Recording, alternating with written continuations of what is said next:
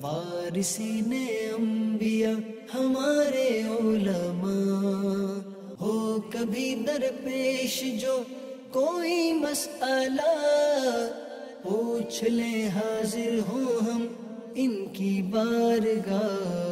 अल्हम्दुलिल्लाहि रब्बिल आलमीन, वस्सलातु वस्सलामु अला सय्यिदिल मुरसलीन, अम्मा बाद फ़अऊज़ु बिल्लाहि मिनश शैतानिर रजीम, बिस्मिल्लाहिर रहमानिर रहीम।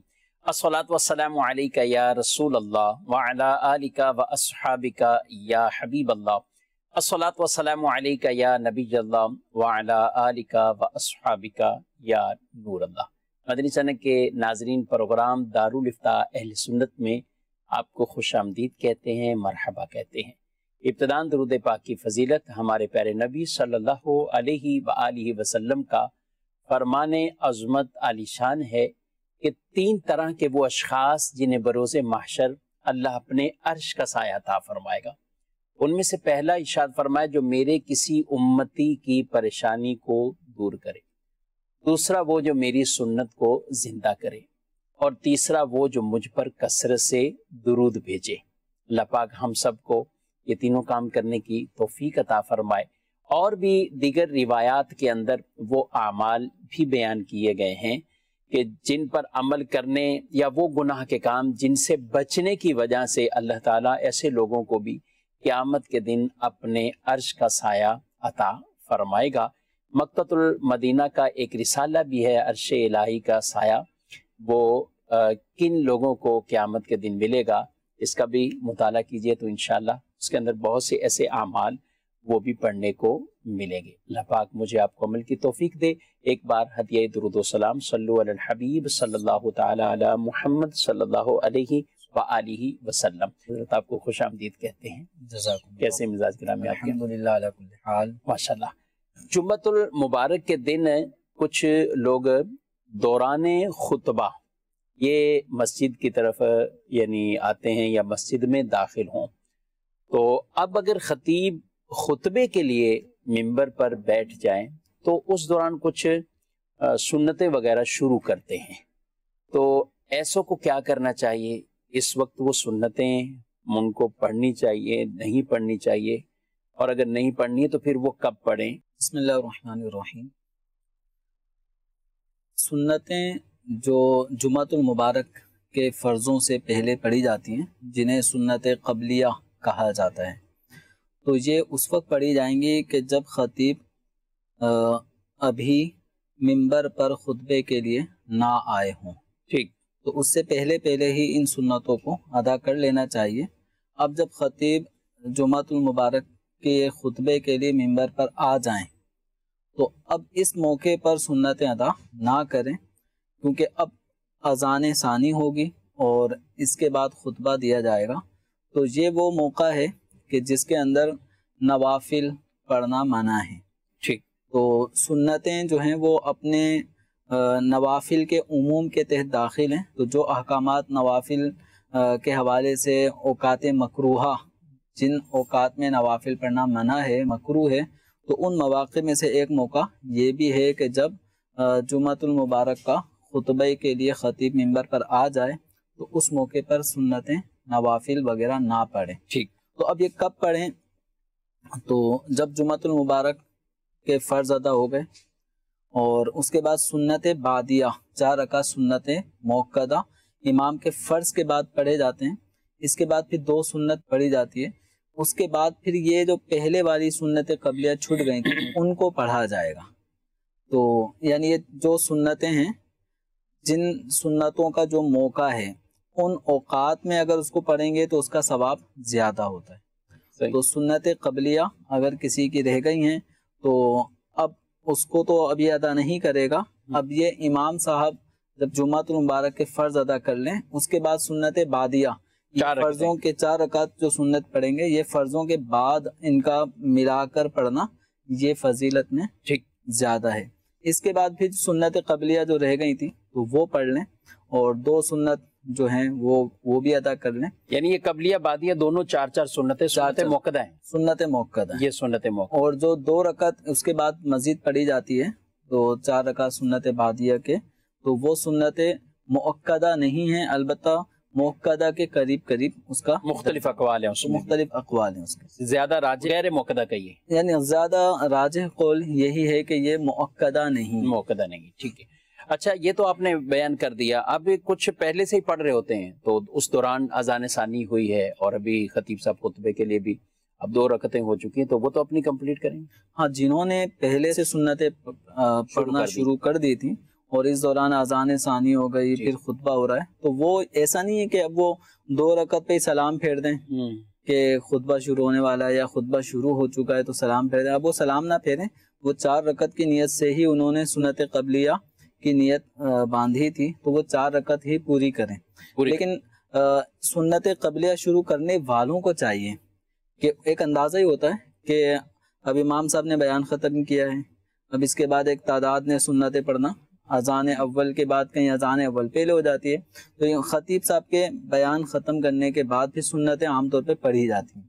तो अब सुन्नतें पढ़ते पढ़ते लोगों को दो चार मिनट हो चुके हैं। अब अगर हम अभी शुरू करेंगे तो हमारा अख्ताम खुतबे के दौरान सुन्नतों का हो रहा होगा। हम्म। तो इनको चाहिए कि इस मौके पर अभी ना पढ़े इनको बाद में ही पढ़ लें। बाद में वो पढ़े। बहरहाल जुम्मे की एक अपनी अहमियत है और जुम्मा मुबारक ये फ़ुकरा के लिए मसाकिन के लिए इसको हज करार दिया गया है। जुम्मत मुबारक का दिन वैसे ही मोमिनों के लिए ईद का दिन है। जी हाँ हर जुम्मा ये ईद का दिन है और जो ये कहा जाता है ना कि तीसरी ईद ईद मिलादुलनबी ये कहाँ से तो हमें तो हर जुम्मा ईद का दिन फरमाया गया है। गोया कि हम महीने के अंदर तो चार ईदें इस तौर पर हम मनाते हैं। तो जब ये नमाज़ है तो इसकी अहमियत को पेश नज़र रखते हुए तैयारी और वक्त, ये ऐसा मैनेज करके रखना चाहिए ताकि आप बर वक्त जाएँ। जहन नसीब के बयान से पहले जाना चाहिए ताकि बयान को भी आपको अव्वल ताखिर बयान भी सुनने को मिले और ये इसको एक क्लास समझ लेना चाहिए कि मैंने आज कुछ सीखने के लिए जाना है। इनशाला अकीदे की दुरुस्तगी या अकीदे के हवाले से मज़ीद पुख्तगी आएगी, मजबूती आएगी दलाइल सुनने को मिलते हैं। इसी तरह इसलाह की बातें होती हैं। हमारे यहाँ से अल्हम्दुलिल्लाह दीनी माहौल से भी बाकायदा जुम्मत मुबारक का भी बयान वो खुतबा के लिए वाइजीन के लिए मुबलगिन के लिए जारी होता है। तो वो भी इसी अंदाज से, वक्त की मुनासबत के अतबार से उसके अंदर बहुत से खूबसूरत बयान भी वो आते हैं। तो ये भी हमें पढ़ने भी चाहिए, सुनने भी चाहिए। तो मस्जिद के अंदर जब हम जाएँगे तो अव्वल वक्त, अव्वल सात जुम्मत मुबारक की वो बरकत हासिल, वो सवाब, सात नमाज़ भी अपनी बर वक्त आप सुन्नतें वगैरह भी पढ़ पाएँगे। तो इनशाला बरकतें ही बरकतें हमारा मुकद्दर होंगी। बढ़ते हैं आपके सवाल की तरफ़। मेरा मुफ्ती साहब से ये सवाल है, अगर कोई मुरीद गुनाह कबीरा करता है उसका क्या मीर से मुरीदी का ताल्लुक टूट जाएगा? कोई मुरीद गुनाह कबीरा करे उसे बेहद क्या टूट जाएगी? यानी कोई किसी जाम शराइ पीर के हाथ कोई शख्स मुरीद हुआ है ठीक है। बेअत भी इसी को कहा जाता है। तो बेअत करने की सूरत में अब ये सवाल इनका है कि कोई मुरीद अगर कोई गुनाह कबीरा कर लेता है। मसलन गीबत एक गुनाह कबीरा है इसी तरह नमाज़ नहीं पढ़ता बेनमाजी होना गुनाह कबीरा है जक़ात नहीं देता रोज़े नहीं रखता। ठीक है गालियाँ बकता है। तो गुनाह कबीरा की एक बड़ी लिस्ट भी मौजूद है।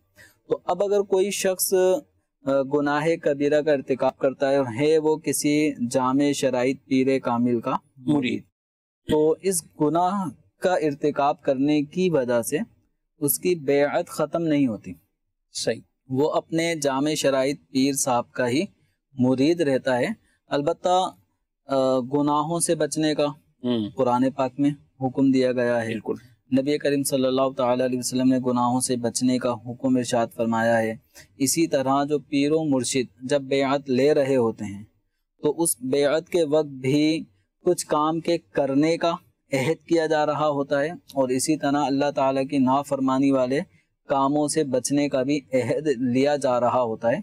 और सरकार दो आलम सल्लल्लाहु अलैहि वसल्लम ने भी मुख्तलिफ़ मौाक़े पर साहब इकराम रिदवान से बेअतें दी हैं यानी किसी अमल पर बैत किसी अमल पर, पर बैत। इस पर। तो अब यह है कि बेअत का मकसद क्या होता है कि वो एक वादा है वो एक अहद है कि मैं ये काम करने वाले करूँगा हम्म। और जिन कामों से मुझे रोका जा रहा है उनसे मैं बचूँगा। ठीक है। तो पीर कामिल आ, से बेअत करने के बावजूद अगर कोई किसी गुनाह का इरतकब कर ले बतखाज बशरियत तो उसकी बेअत नहीं टूटती। सही। लेकिन उसे चाहिए कि दोबारा से। तजदीद बेअत जिसको कहते हैं, एक नया अहद दोबारा से करे कि ये मुझसे गुना हुआ। और इस गुना से मैं अब आइंदा दोबारा, जब कभी पीर मुर्शिद से मुलाकात की सूरत बने, फिर तजदीद बेत तजदीद बेत से फ़ायदा ये होगा कि इसका मतलब ये नहीं होता कि बेत टूट गई तो अब नए सिरे से की जा रही हो। तो जिस तरह तजदीद ईमान, ठीक, अहादीस करीमा में भी ईमान की तजदीद का हुक्म दिया गया है करते रहने की तरगीब दिलाई गई है। तो ऐसी जहाँ जब जैसे मौका मिले तो तजदीद बेअत भी करते रहें। इससे दोबारा वही अहद पैमान माहिदा कि मैं ये काम करूँगा और ये काम नहीं करूँगा तो ये पेश नज़र आता रहेगा और कभी ना कभी दिल चोट खाएगा और वाकईतन गुनाहों से फिर आदमी को सच्ची नफरत भी नसीब हो सकती ठीक है। अच्छा तजदीद बैत का भी मौका उस वक्त मुयसर है नहीं है ये एक अलग बैत। इसको गुनाह कबीरा हो गया तो फिलफोर तोबा तो करनी चाहिए? बिल्कुल गुनाह कबीरा हो या सगीरा ठीक है। जब भी आदमी से कोई भी गुनाह सरजद हो जाए हम्म, तो फ़ौरन अल्लाह तबारक व ताली की तरफ़ रुजू करें जिसे तोबा कहते हैं। और तोबा का मतलब क्या है कि अपने उस गुनाह जो सरजद हो गया उस पर सच्चे दिल से नादिम हो, शर्मिंदगी जिसको हम कहते हैं, एहसास नदामत हो, और उस काम को फिल फौर वो तर्क कर चुका हो। और आइंदा उस काम के ना करने का वो पुख्ता अहद, पुख्ता इरादा कर ले तो इसको कहते हैं तोबा। अब गुनाह बाज ऐसे होते हैं जिसमें किसी मुसलमान की हक तलफी हुई होती है, या अल्लाह तबारक व ताली के हुकूक में से कोई हक तलफ किया गया है तो जिस गुनाह में हकुल्ला या हक अब्द तलफ हो रहा हो। तो अब ऐसे गुनाह से तोबा के लिए फिर उस हक की अदायगी भी ज़रूरी है। जैसे नमाज़ नहीं पढ़ी तो नमाज़ पढ़े। तो नमाज़ की कज़ा करें रोज़े छोड़ दिए तो रोज़े माह रमज़ान के रखे किसी मुसलमान का माल चुरा लिया तो मुआफ़ी अल्लाह से मांगने के साथ साथ उस बंदे को उसका माल भी दे। अगर उसको तकलीफ़ पहुंचाई बेजा जुल्म किया तो उस जुल्म की भी मुआफ़ी मांगे। माफ़ी मांगे। तो मुआफ़ी के साथ साथ तलाफ़ी। ठीक हक की अदायगी ही का दूसरा नाम तलाफ़ी है। तो मुआफ़ी और जहाँ हक तलफी हुई वहाँ पे उसकी तलाफ़ी होनी चाहिए। तो ये अ, अकेले में भी आदमी बाज गुना ऐसे होते हैं कि जो किसी और को नहीं पता।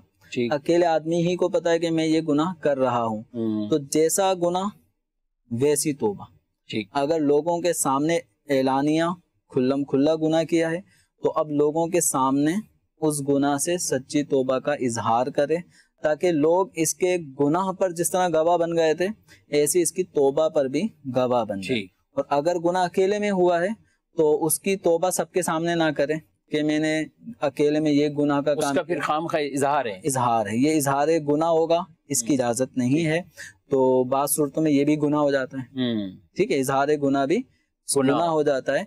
तो इसलिए तन्हाई में अकेले में पोशीदा हालत में कोई गुना हुआ तो उसकी दिल ही दिल में अल्लाह तबारक व ताली से रुजू करे या अकेले में भले जबान से अल्फाज तोबा अदा करे किसी पर अपने गुनाह का इजहार ना करे। ठीक। तो तोबा तो सिर सिर और तोबा ऐलानिया बिल ऐलान ठीक है। किबला शेख तरीक़त अमीर अहल सुन्नत दामत बरकातुम आलिया जब आप कभी यूँ बैत करवाते हैं तो ये असलाफ का एक अंदाज तरीका रहा है कि वो शुरू से ही अपने मुरीदीन से एक अहद और उनसे तोबा करवाना और फिर आप तो कई ऐसी चीज़ों का ज़िक्र करते हैं ना जिसमें झूठ है गीबत है चुगली है गाने बाजे हैं फ़िल्में ड्रामे हैं इनसे अपने आप को जो है वो बचाने का एक तरह का वो अहद लिया जाता है। तो ये जब मौाक़े हों तो यूँ तजदीद बैत भी बिल्कुल ऐसे मौाक़े जब पीर कामिल से जो जो तजदीद बैत का ऐसा मौका हो जब कभी अपने पीर कामिल की बारगाह में हाजिरी हो तो जैसे मदनी मुजाकरे में ही फैज़ान मदीना में लोग मौजूद होते हैं मदनी मुजाकरा है या मुख्तलिफ़ मौाक़े पर अमीर अहले सुन्नत अ, करवाते हैं। लाइव ट्रांसमिट लाइव ट्रांसमिशन में मदनी चैनल के ज़रिए मदनी मुजाकरे में दुनिया भर के आशिकान रसूल और अमीर अहल सुन्नत से बेअत होने वालों के लिए एक मौका होता है। हम्म। वो इस सूरत में भी बेअत हो सकते हैं जो पहले से मुरीद हैं वो तजदीद बेअत भी कर सकते हैं। तो ऐसे मौाक़े को मतलब गनीमत जानना चाहिए क्योंकि बसा औकात बाज सूरतों में बेअत टूट भी जाती है। ठीक। बाज सूरतों में बेअत टूट भी जाती है जैसे माजल्ला अगर किसी से कुफर सरजद हो गया सही। तो ईमान बर्बाद होने के साथ साथ बैत भी। निका भी गया। निका भी निकाह के साथ साथ ये बेआतें भी चली गई। हम्म, तो अब इस सूरत में तजदीद तोबा करना है सबसे पहले तजदीद ईमान करना है तजदीद निका करना है तजदीद बेयात करनी है तो फिर ये ये सब चीज़ें करना आदमी को फ़ायदा देगा। हम्म, तो तोबा और तजदीद ईमान तो ये ज़रूरी है। बीवी को रखना चाहता है तजदीद निकाह करे बेयात जारी रखना चाहता है तजदीद बेयात करे। तो जब भी पीर कामिल के ज़रिए से बेयात का कोई भी मौका हो तो उसको गनीमत जाने। एक अच्छा है अच्छा एक पहलू है। और फिर मजीद ये कि तोबा पर इस्तेकामत मिलने के जराए में से है कि जिन गुनाहों से बचने का हुक्म शरीयत ने दिया है पीरो मुर्शिद भी उन्हीं से बचने की तलकीन कर रहे हैं। जी हाँ बिल्कुल। तो जब अहद आदमी कर रहा होता है तो आम इरादों के मुकाबले में जो अहद जो लिया जाता है बकायदा लिया जो बेयत के वक्त लिया जाता है ये थोड़ा सा आदमी को झंझोड़ता है है। कि हाँ मैं अहद कर रहा हूँ मैं वादा कर रहा हूँ हम्म, कि ये काम करूँगा जो करने वाले हैं ये काम नहीं करूँगा जिनसे शरीयत ने रोका है। तो ये एक आदमी का माइंड सेट बिल्कुल इस तरफ़ जब बन जाए कि ये काम करने हैं जो फ़राइज वाजिबात हैं और ये काम नहीं करने जो हराम गुना मकरू तहरीमी है तो इनशाला ये अहद करना तजदीद बेयत करना आदमी को गुनाहों से बचाने में एक मुआविन फेल है। ठीक है माशाल्लाह। जी मजीद सवाल। पूछना ये था कि जुम्मत मुबारक के दिन अगर कोई सुन्नतें अदा कर रहा हो तो उसकी गर्दनों से फलांग कर अगली सफ में अगर जाए तो ये जायज़ है?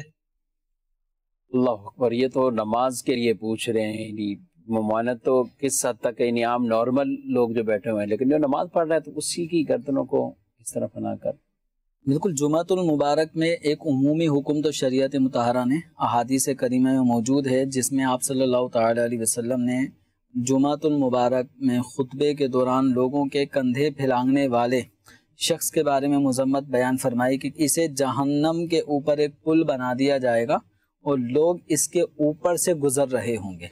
इस तरह की सख्त वईद इस फेल पर ज़िक्र की गई है। तो लिहाजा जुमातुल मुबारक में अगर कोई नमाज़ ना भी पढ़ रहा हो, बैठा हुआ है, उसके बैठे हुए शख्स के कंधे फैलाना और आगे जाना और उसको यूँ हटाना, आगे जाना, इसकी इजाज़त नहीं है।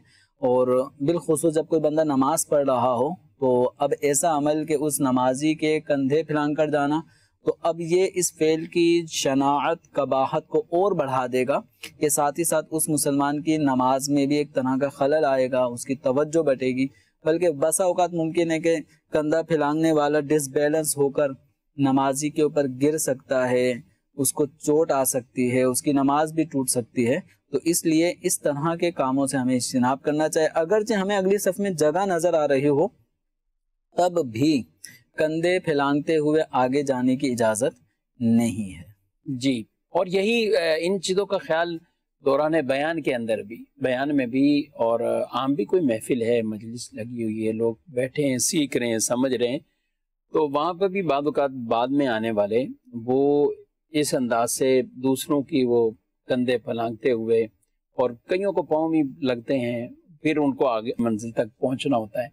तो उसमें कई वैसे ही दीन की बातें सुनने सीखने में भी उनको तवज्जो कई तरह की तवज्जो उनकी बाज लोगों ने अपना चश्मा लपेट के रखा हुआ चश्मा भी उसका चश्मा टूटने के वाकियात भी हो जाते हैं। किसी ने आईपैड रखा हुआ है मोबाइल रखा है ये आने वाले को क्या पता कि मोबाइल किस जगह रखा है? अब इसने तो अपना पाँव रखना है। तो कुछ चीज़ें ऐसी हैं जो किसी दूसरे मुसलमान की अशिया के टूटने फूटने जाय होने का भी ये सबब बन सकती है। बहरहाल कुछ ऐसा ना भी हो तब भी ये मजलिस के आदाब के खिलाफ है कि चंद लोग बैठे हों यानी नॉर्मल ही गुफ्तगु कर रहे हों तब भी ये अमल मजलिस के आदाब के खिलाफ है कि एक आदमी दो आदमियों के दरमियान से उनके कंधे फैलांग कर जाए। सही बात। गुजरना है थोड़ा सा आम मजलिस के अंदर आपको आगे जाना है। इशारा किया जा सकता है। हम्म, दोनों जगह कुशादा करेंगे। आप जा सकते हैं ये कंधे फैलांगने का अमल वैसे ही मायूब फेल है। ठीक है। या मैं दूसरे नमाजियों को भी कहूँगा कि जो पहले से मौजूद होते हैं तो आप भी दूसरों को ऐसा मौका ना दें। यानी जान बूझकर आगे वाली जगह छोड़कर पीछे बैठ जाना और वो भी एक तरह की पूरी यूँ पूरा जाम करके रास्ता पीछे बढ़ गए वो पूरी बुरी सफे होती हैं। लोगों की इतनी कि एक जगह हवा आ रही है अच्छी आ रही है ठीक है ये पंखा से ही चल रहा है तो वो यहाँ बैठ एसी की ठंड। या एसी की ठंडक वहाँ पे या निकलने का रास्ता उनको कि यहाँ आसानी है। तो इसलिए भी वो रास्ता उसको आम तौर पे जाम जाम कर देते तो यूँ ट्रैफ़िक जब कोई रोड पर जाम करता है तो हमें बहुत गुस्सा आता है। कोई वैसे ही कोई रेडी ठेले वाला भी खड़ा हो और सब लोग उसकी वजह से डिस्टर्ब हो रहे हो तो लोग उसे बर्दाश्त नहीं करते। आमतौर पर जाते हुए कुछ ना कुछ उसे जमील साहब सुनाते हुए ही जाएँगे।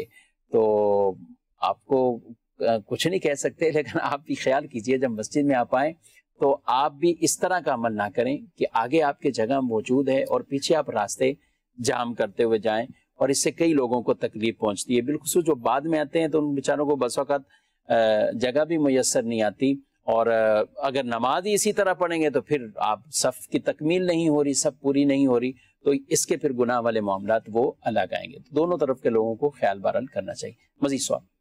मेरा मुफ्ती साहब मेरा सवाल ये है कि आज चार रकात वाली नमाज़ जो फ़र्ज़ अगर उसमें पाँच रकातें आदमी पढ़ रहे तो सजदा साहब करने के तो नमाज़ ठीक हो जाएगी या उसका क्या करना पड़ेगा मालूम ठीक है बयान इन्होंने नहीं किया कि चौथी के बाद बैठे थे या नहीं बैठे सजदा साहब कर लिया है। तो दोनों एतबार से आप बता जो चार रकत वाली नमाज़ में चौथी रकत के कादा अखीरा में अगर ये हम्म। बैठ गए थे तो बैठने की सूरत में फिर भूल कर वो पांचवी रकत के लिए खड़े हो गए।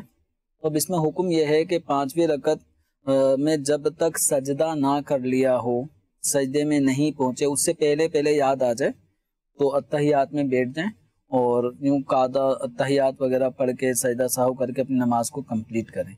और अगर सजदा कर लिया पांचवी रकात का तो अब फिर एक रकत और मिला लें यानी छह रकत कर लें और छह रकत पढ़ने की सूरत में आखिर में सजदा साहब कर लें नमाज़ दुरुस्त हो जाएगी। और अगर और ये चार रकत फ़र्ज़ अदा हो गए ये दो रकत नफिल हो गए। ठीक है। और अगर कादा अखीरा किया ही नहीं था हम्म। खड़े हो गए पांचवी रकत के लिए तो अब भी हुक्म यह है कि जब तक सजदा नहीं किया वापसी आ जाए तहियात में बैठे तहियात पढ़ें सजदा साहु करें नमाज़ बकिया जो सजदा साहु के बाद पढ़ी जाती है उस अंदाज में मुकम्मल करें और अगर इन्होंने पांचवी रकत का सजदा कर लिया और कादा खीरा चौथी रकत में कादा नहीं किया था तो जो ये फ़र्ज़ पढ़ रहे थे चार रकत या सुन्नतें पढ़ रहे थे तो वो सुन्नतें अदा नहीं हुई वो फ़र्ज़ अदा नहीं हुआ क्योंकि कादा खीरा फ़र्ज़ है हम्म। और फ़र्ज़ अदा ना होने की वजह से अब वो जो नमाज़ पढ़ रहे थे वो फ़र्ज़ या सुन्नत मौका अदा नहीं हुई वो महज एक नफिल के तौर पर हो गए अब सजदा कर लेने की वजह से अब एक रकत और मिलाने का हुक्म है कि एक रकत और मिला लें और उसके बाद ये दो रकत नफिल अलग से हो जाएँगी। वो बकिया जो फ़र्ज़ थे, वो तो अदा नहीं हुए, वो चार रकतें नवाफिल के हुक्म में चले गई। फ़र्ज़ दोबारा से पढ़ने होंगे, सुन्नतें मौकदा शुरू की थी, वो अब दोबारा से पढ़नी होंगी। ठीक है। और यानी इस गलती का इजाला हो सकता है यानी पांचवी के सजदा करने से पहले पहले वो पांचवी रकत के सजदे से पहले पहले रिटर्न अगरचे रुकू कर लिया अगरचे रुकू कर लिया अगरचे समी अल्लाह हमीदा कह लिया अभी सजदा नहीं किया। हम्म। तो उससे पहले पहले यानी सजदे में जाते जाते भी याद आ जाए तो सजदे में ना जाए तहियात में ही बैठ जाए। सही। ठीक है और जो सजदा साहब वगैरह के हकाम बयान किए कादा नहीं किया था तो तहियात पढ़ें कि वो कादा अखीरा है फिर सजदा साहब कर लें। और अगर कादा कर चुके थे तो ये सजदा साहब बैठ कर सजदा साहब कर लें और अपनी नमाज़ को बकिया कंटिन्यू रखें। ठीक है तो उसमें बैठेंगे तो सलाम फेर के डायरेक्ट सजदा साहब जी जी सलाम फेर के सजदा साहब कर लें उसके बाद तहियात पढ़ें दुरू शरीफ पढ़ें दुआ पढ़ के सलाम फेर के नमाज़ मुकम्मल कर लें। जी मजीद सवाल। मुफ्ती साहब से मेरा ये सवाल है कि कोई आदमी दुकान पर गाहक लाता है कि इसको सौदा दे दो और कहता है कि मेरे में कमीशन रख लो चुपके से तो क्या ऐसा पैसे लेना जायज़ है इस तरह उसका? चुपके से कमीशन रखनी है। जी। कमीशन मतलब ये दुकानदार के पास गाहक लेकर आता है। जी। और गाहक लाने में जो इनकी मेहनत हुई और इन दोनों दुकानदार और इनके अगर आपस में ये पहले से तय है कि मैं एक कस्टमर लेकर आऊँगा और कस्टमर अपनी पसंद से आपसे माल ख़रीदेगा आप उसको माल बेचेंगे लेकिन जो मेरी मेहनत सर्फ हो रही है इस कस्टमर को साथ लाने की तो इस पर आप मुझे कमीशन दें। तो इनका आपस में जो कमीशन का उसूल जबता है कि इस तरह के कामों पर कितनी कमीशन या जो भी एक परसेंट दस परसेंट पाँच परसेंट जो कमीशन चलती है वो ये लेने के मुस्तक हो सकते हैं लेकिन बाज़ अवत ये थोड़ा सा इसमें एक धोखाधही कहें या कस्टमर के साथ ना इंसाफी कहें हम्म। कि अगर कस्टमर को पता चल जाए कि तुम्हारे आने की वजह से ये चीज़ मुझे महँगी पड़ी है मैं डायरेक्ट आता चीज़ खरीदता चले आता लेकिन आपके साथ आने की वजह से चूँकि आपका भी कमीशन निकालना था उसे हम्म। तो कमीशन निकालने के लिए क्या हुआ? चीज़ ही महँगी बेच दी। आम हट के आम लोगों को देने के मुकाबले में चूँकि कमीशन निकालने की वजह से अगर दुकानदार ने इस कस्टमर के रेट बढ़ाए हम्म। और अगर वो पर्सनल आता तो ना बढ़ाता इसके साथ आने की वजह से कमीशन भी कस्टमर ही की प्राइस में से निकलवाया जा रहा है। हम्म। तो ये तरीकाकार एक तरह से मुसलमान की खैर खाही नहीं है। हम्म। तो इस अमल से बचना चाहिए। हाँ अगर पर्सनल कोई आदमी अकेला आता तब भी उसी उसी रेट पे मिले और आपके साथ लाने की वजह से भी उसको उतने ही रेट पे मिले। यानी आपके आने की वजह से कस्टमर को नुकसान ना हो। हम्म। और अब दुकानदार अपने नफे में से अब इनको अगर उजरत देता है तो फिर ये सूरत बिल्कुल वाजे दुरुस्त है।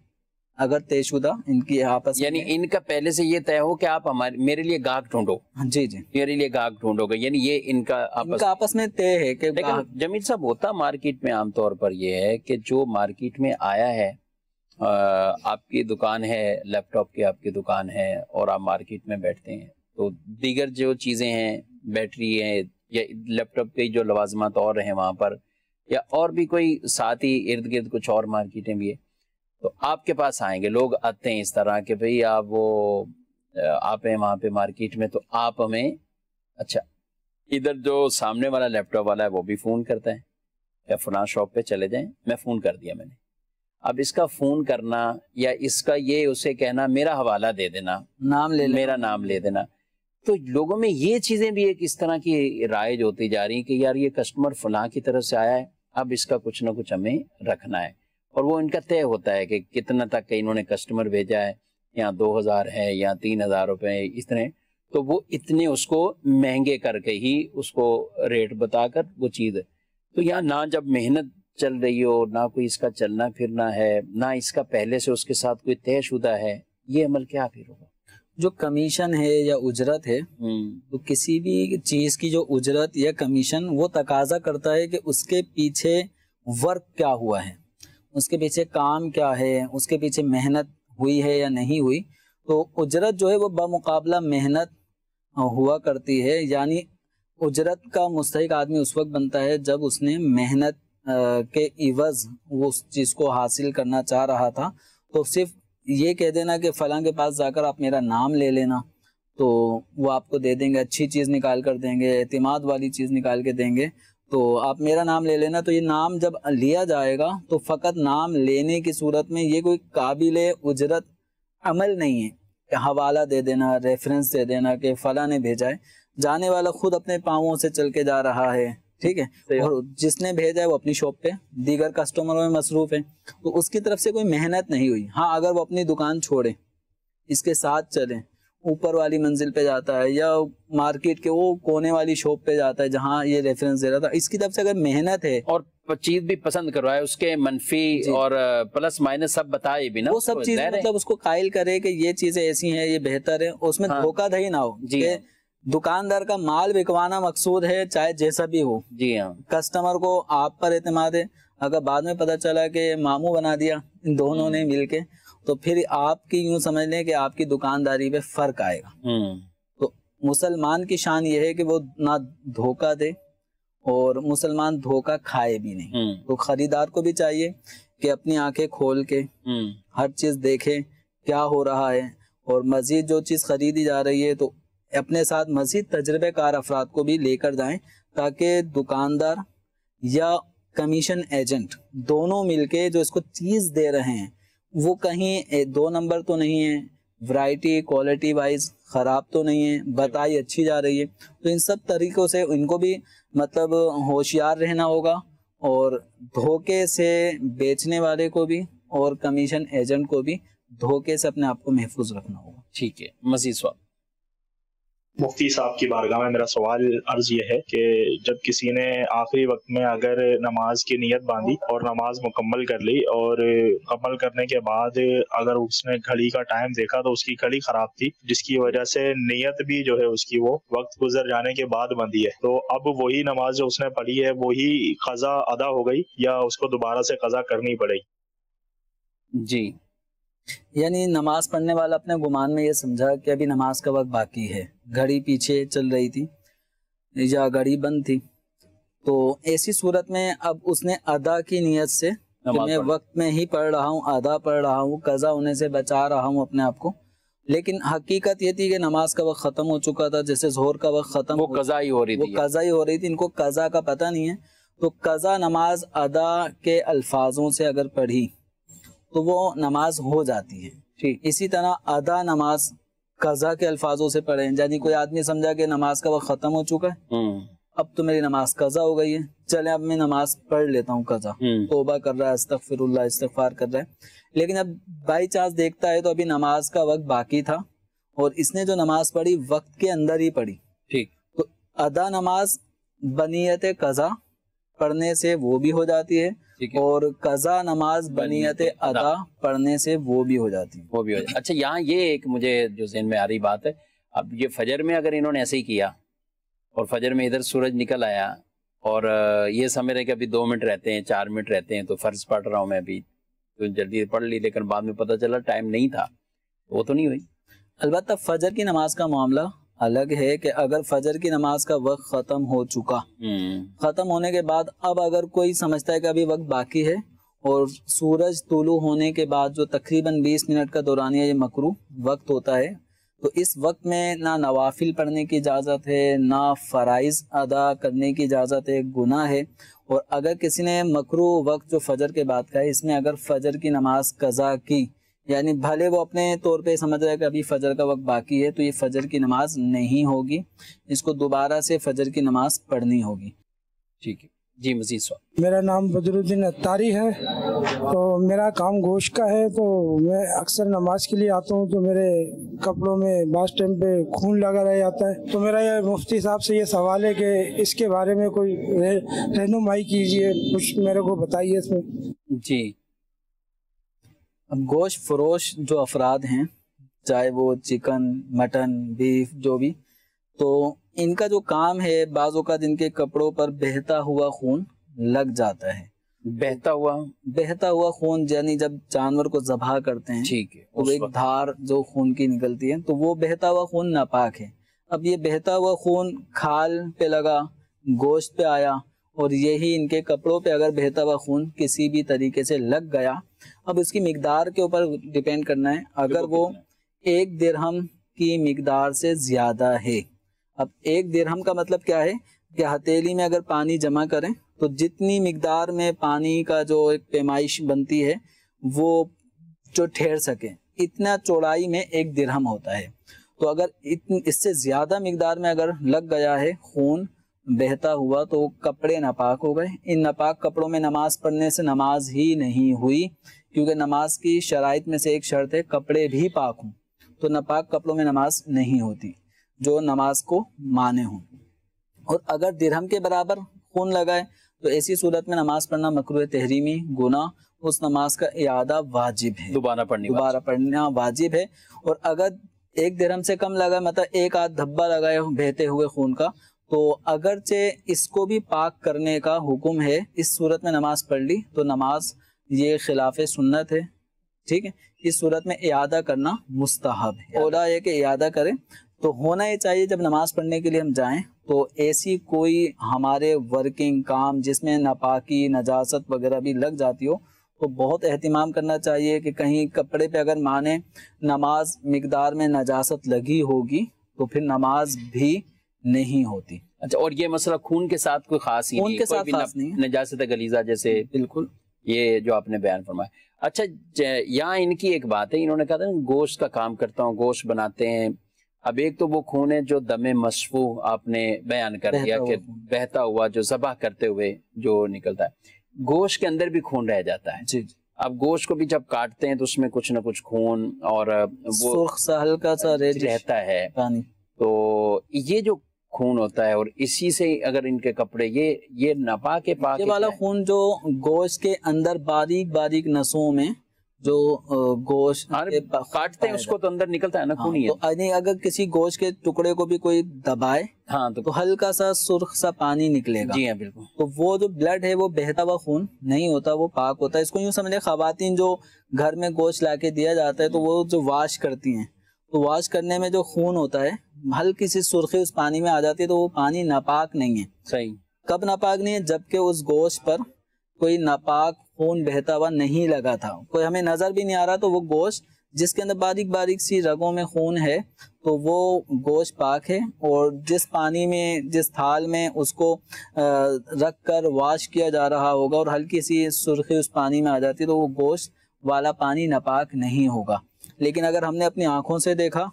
कि इस गोश्त पे बहता हुआ खून आ गया या बहते हुए खून के अंदर ये बोटी गोश्त की गिर गई थी फिर उठा के हमने गोश्त में डाल दी और फिर इसको वाश कर रहे हैं। तो अब ये जो जिस बर्तन में गोश्त को धोया जा रहा होगा तो वो पानी भी नापाक हो जाएगा। ठीक है। तो फिर ऐसे गोश्त को अच्छी तरीके से एहतियात से पाक कर अच्छा, तो वो आम गोश्त का जो खून लगा होगा उससे इनको नमाज़ में प्रॉब्लम नहीं होगा। उसमें चूँकि वो खून बहता हुआ नहीं होता तो वो नापाक नहीं है। लेकिन इसका ख्याल रखना चाहिए बिलखसूस जो गोश्त बनाने वाले हैं गोश्त फरोश अफराद हैं कि आमतौर पे गोश्त की स्मेल होती है। हम्म। कच्चे गोश्त की स्मेल होती है। तो कच्चा गोश्त भी मस्जिद में लाना जायज़ नहीं है। तो अगर कपड़ों पे ही वो कच्चे गोश्त की स्मेल और ये हाथ साफ़ करते रहते हैं कपड़ों पे हाथ लगते रहते हैं तो अगर कपड़ों में वो कच्चे गोश्त की बू आ रही है तो ऐसे बदबूदार कपड़े मस्जिद में लाने की इजाज़त नहीं होगी।